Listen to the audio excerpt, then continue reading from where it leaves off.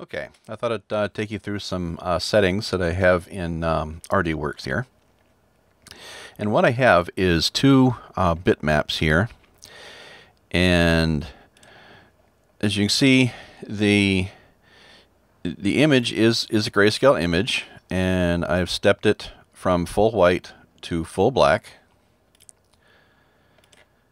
The image is an 8-bit grayscale image and I've imported that into um, RDWorks here. And I did um, I, I, made two copies of it.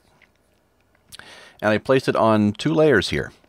And the top layer here is um, set to uh, actually both of them are set to default uh, for speed uh, so I can adjust it on the machine itself. And I've set um, it, for the first uh, test, I set it um, min and max power the same, and in this case, 30% uh, uh, for both. And then the second one, which is the bottom one here, um, I have it set also for 3030 and also for default. However, I have ticked output direct here on it. And then I simple and then I have a simple uh, cutout uh, to go around the thing.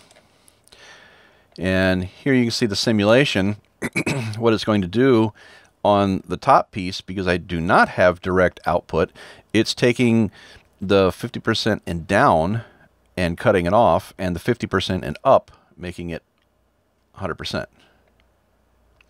And then stepping the rest. Okay, so that's what we have and um, I'll send this um, to the laser and I'll uh, shoot some video on the laser and I'll be right back. Okay, here we are uh, downstairs at the laser and this is the first program uh, running at 30-30 uh, percent at uh, 100 uh, millimeters per second and as expected this top section is only engraving the darker half of the six bars and leaving the lower half completely untouched. And now on the lower half, uh, you can see it's begun a, uh, a, full sweep except for the first bar, uh, which is 0%, which I expected it uh, not to etch at all.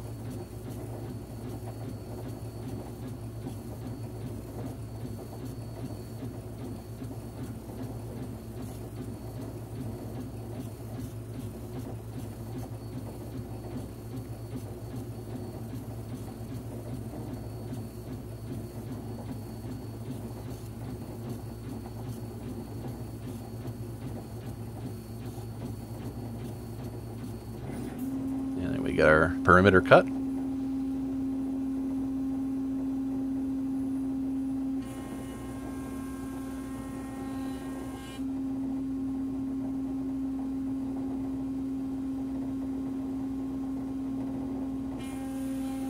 Okay, that's sample number one.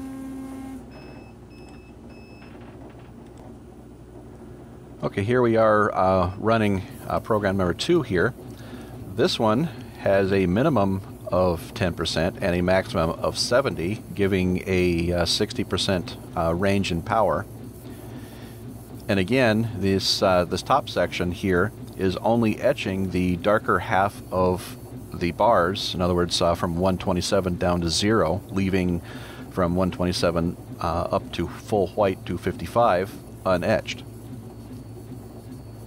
And now working in the uh, lower section here, it's kind of hard to see uh, here, and we'll take a look at these uh, a little bit closer uh, when we get back upstairs.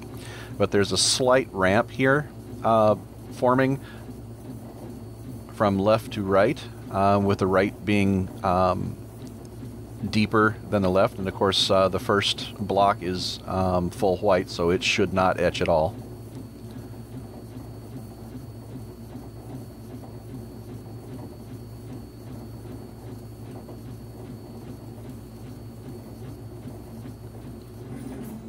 our uh, perimeter cut here.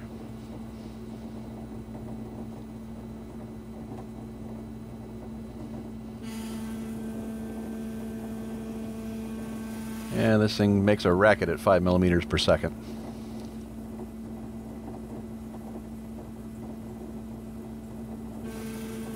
And this will be uh, sample number two. Okay, here we're running uh, the same program as sample 2, only this time um, I've set the traversal speed down to 50 millimeters per second instead of 100, um, as in uh, sample uh, 2. And this should produce a bit deeper cut um, into the surface here, especially at the top where there's only two powers. And I've also included um, the milliamp meter. As you can see, uh, it's really only running um, one power setting for this upper section here. However, I think the uh, the pattern um, that we see in the lower section will be fairly interesting once we get there.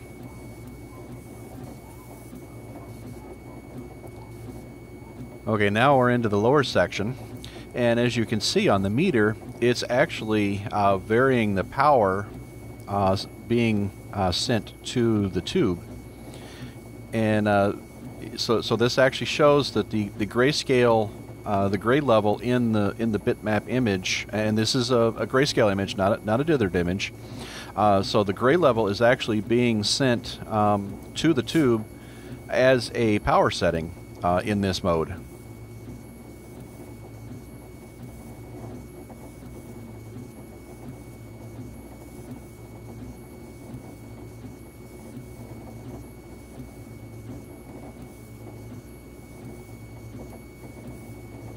So again, this is uh, running 10% minimum and a 70% maximum, uh, same as um, sample 2.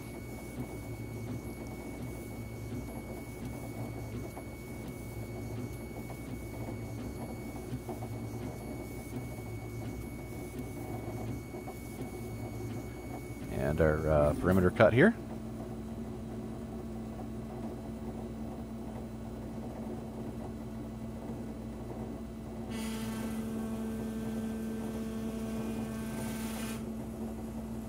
And this will be uh, sample number three once we get back upstairs.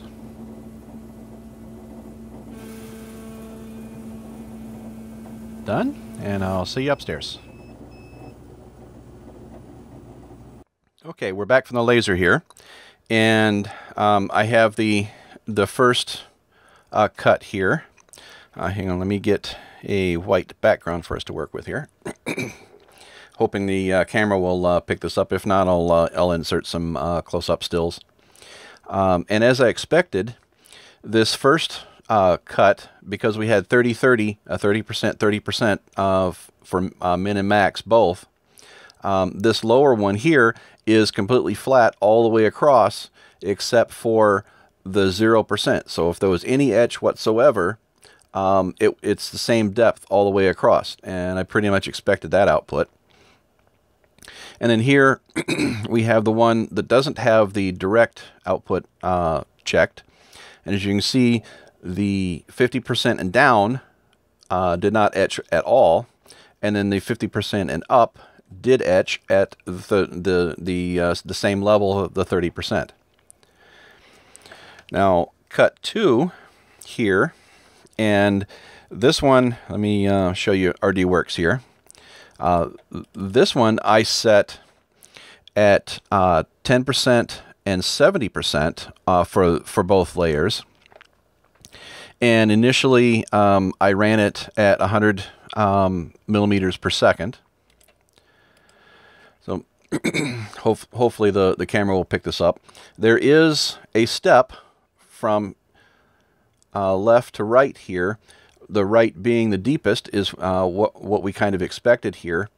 So we had the shallow, uh, no no no etch whatsoever. The the shallowest cut all the way down to the deepest cut, while at the same time, um, our upper one here, which does not have direct output ticked, did exactly the same thing. It it etched at 70%, which is what our max was, and only etched the upper 50%, leaving the lower 50% uh, completely untouched. So we have a slight slope here with, with that output. And then I reran the same code uh, a third time, and this time um, it's, it's still 10% and 70%. except I slowed it down to 50 millimeters uh, per second here. And hopefully you, you can see there's uh, a, a, much more drastic uh, depth slope here from our 0 to 100% or from 10% all the way down to 70%. And uh, of course, as expected, we, we still have the same depth here at 70%. Uh, um, the, these the, the, both ends over here are exactly the same depth. This one is is uniform all the way all the way across, um, while while this one is our stepped. So it, it, this this definitely confirms that the the direct output um, is what's needed uh, to actually send the grayscale data from a grayscale bitmap, not a dither bitmap, but a grayscale bitmap uh, to the laser uh, in, in the form of power output.